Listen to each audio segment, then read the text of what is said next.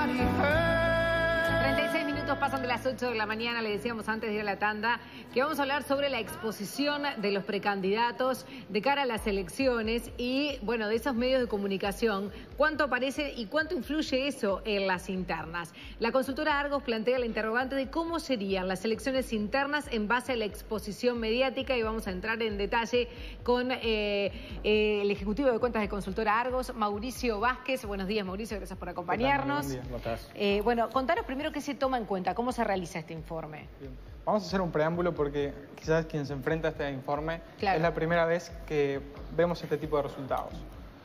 Eh, el informe que presentamos es un informe de monitoreo electoral, ¿ah? en donde nosotros, a través de la plataforma Samira, que es realizada por Argos, la consultora de medios más antigua en América Latina, empezamos a auditar todos los organismos, todos los actores y todas las empresas que tienen participación en medios de comunicación. Una vez que tenemos esa participación, empezamos a hacer un análisis cuantitativo y cualitativo. En el cuantitativo vemos a ver cuánto están saliendo los precandidatos, en este caso. Bien.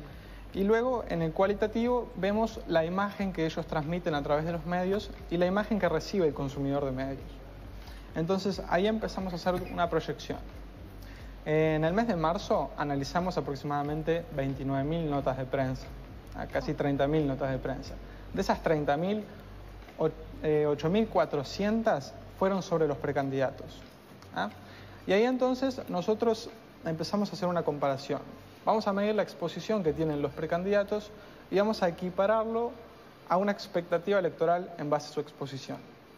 Bien. Ah, ¿Sí se entiende la idea? Sí, por supuesto. Eh, entonces empezamos a ver, dentro de cada uno de los partidos, comparamos a los precandidatos y decimos, bueno, en base a su proyección, esta sería su expectativa electoral.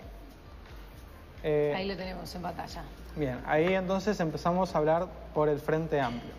El Frente Amplio, las encuestas de opinión, lo que están diciendo es que el favorito sería Daniel Martínez.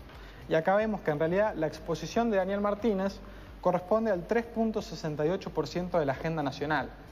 Es decir, de cada 100 notas que salen en los medios de prensa, 3, casi 4, hacen referencia al ex intendente de Montevideo. ¿Ah? Esto, en base a la exposición, le da una proyección del 43% en la interna del Frente Amplio. Ajá. Eh, seguiría Carolina Cose, Mario Vergara y Oscar Andrade. Que este mes, el mes de marzo que estamos analizando, es muy curioso porque baja la participación del Frente Amplio y hay un cambio en la interna. Hasta meses anteriores, Andrade superaba a Vergara en la exposición mediática. Y al mismo tiempo Andrade tenía la mejor imagen dentro del Frente Amplio. Pero el mes de marzo Andrade tuvo una crisis que fue la polémica con las fotos de la hija en las redes sociales. Sí. Entonces, eso le generó una imagen negativa. Es el precandidato del Frente Amplio con imagen negativa mayor. Eh, y además le baja la participación. Ok. Él, eso puede tener que ver con una estrategia también de él, de exponerse menos después de hecho, no lo sabemos. Eso Claro, no eso se va. mete en ese análisis Bueno, o capaz que. Vergara también ha tenido más participación porque se le ha consultado más por temas económicos. Pero fue un boom en un tema muy corto, por ejemplo, eh, en ese sentido, Claro. que fue de imagen negativa y dejó de lado lo que podría haber pasado en un mes normal. Bien. Que, ¿Vamos al Partido Nacional? dale, vamos al Partido Nacional, que es el que presenta la interna más competitiva. Perfecto, ahí la, donde, ahí la estamos viendo en pantalla. Si le damos fino, pueden haber algunos cambios. A ver. El Partido Nacional es el partido que en el mes de marzo tiene mayor exposición de todos. ¿ok? Eh, Luis Lacalle Pou es el precandidato con mayor exposición dentro del Partido Nacional, pero la discusión es en quienes lo siguen, ¿verdad? Jorge Larrañaga tiene un 2,8% de la exposición dentro del Partido Nacional. Y Juan Sartori tiene el 2,33%. Eh, Antía le sigue en último lugar y la expectativa del Partido Nacional es la más grande en los últimos dos años. Pero si empezamos a hilar fino, Sí. Jorge Larrañaga, para esta campaña, tiene un arma mediática y un arma electoral, que es la campaña Vivir sin Miedo. Vivir sin Miedo aporta votos, ¿verdad? Y al mismo tiempo aporta exposición mediática. Vivir sin Miedo para Jorge Larrañaga significa el 30% de su participación. Mirá.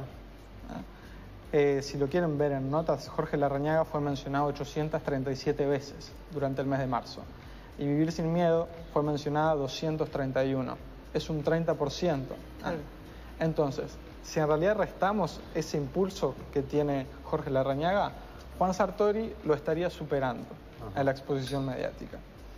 Y la catapulta mediática que ha tenido Juan Sartori en estos últimos meses, desde su llegada, también ha influido en las encuestas de opinión. Bien. Entonces, el Partido Nacional es el que tiene la interna más competitiva, digamos. Eh, Luis Lacalle tiene una diferencia muy grande, la brecha se está ampliando, pero el segundo y el tercer puesto no está definido de ninguna manera. Partido Colorado. Partido Colorado. Vamos al Partido Colorado entonces, donde también hay una interna interesante porque las encuestas han ido dando un mayor información en los últimos días, ahí la tenemos. Exacto, el Partido Colorado tiene a Julio María Sanguinetti con gran ventaja de exposición sobre Ernesto Talvi, pero hay dos cosas interesantes. El Partido Colorado duplica su participación respecto del mes de febrero. Mirá. La exposición del Partido Colorado andaba en el 3 con algo de la agenda nacional y hoy vemos en marzo el Partido Colorado con un 6% de participación. Es decir, que duplicó realmente. Claro. Y la brecha entre Sanguinetti y Talvi se ha cortado en, en los últimos tiempos.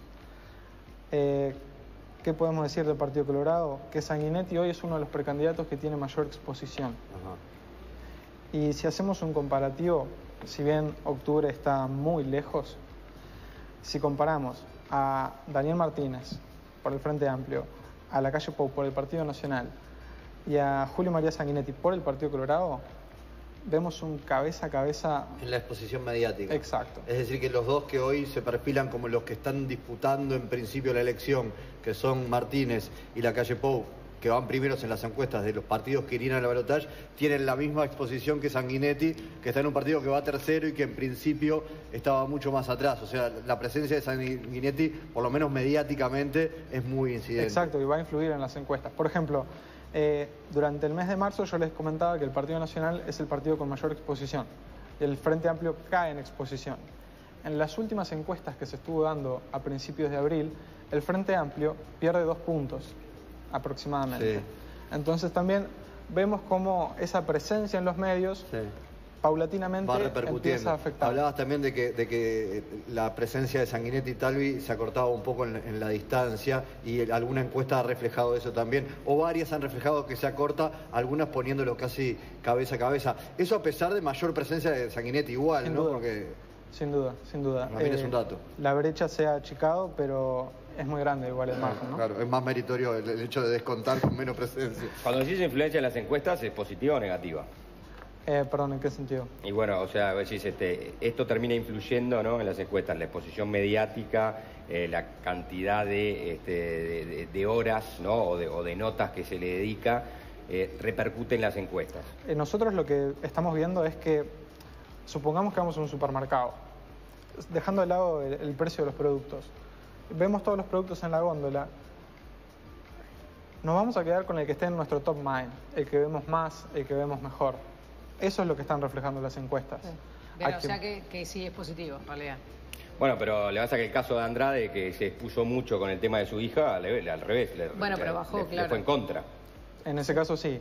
Por eso, entonces no es, no es lineal. Tenemos dos cosas, la exposición y la imagen de los candidatos, que eso lo podemos comentar si quieren. Eh, por ejemplo, el candidato hoy con mejor imagen es Juan Sartori.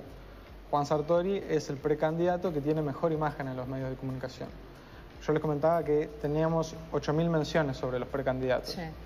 Cada una de ellas y todas las notas que nosotros analizamos son calificadas de manera positiva, negativa o neutra. Desde un punto Claro, de porque vista- cantidad de mensajes de, de- de nominaciones no quiere decir que La sean buenos. No, puede ser claro. mala o Eh, que le- esté mejor imagen, que, que- ¿qué sería? ¿Cómo- Ahí está, por ejemplo, ¿Qué es Juan Sartori imagen? tiene una imagen resultante, le llamamos nosotros, en donde cada una de las notas las calificamos, positiva, negativa, neutra. Desde un punto de vista objetivo, no importa después lo que piense Doña María sobre Juan Sartori. Eh, lo que analizamos es el mensaje que está viendo Doña María en esa nota. Eh, Juan Sartori tuvo 24% de las menciones positivas, 67% neutras y 7% negativas. Eso le da un saldo de 84% a favor. Y comparado con los otros precandidatos, es el que tiene mejor imagen. Quien le sigue es Daniel Martínez, que tiene una imagen resultante del 74%. Y después Ernesto Talvi, que es quien tiene mejor imagen dentro del Partido Colorado. Bien. Que esto es un cambio en el mes de marzo. Bien. ¿Y qué arroja el comparativo de estudios que hicieron con las encuestadoras? Eh, bueno, realmente lo que vemos es que la tendencia hoy por hoy se asemeja mucho a las consultoras. Es decir, que lo que vemos en los medios y la participación que tienen los candidatos es lo que se refleja el día de mañana en las encuestas. Y esto es muy importante para el medio de comunicación como formadores de opinión. ¿ah? Lo que nosotros emitimos, ustedes como comunicadores, lo que transmiten, este, genera repercusión en las encuestas.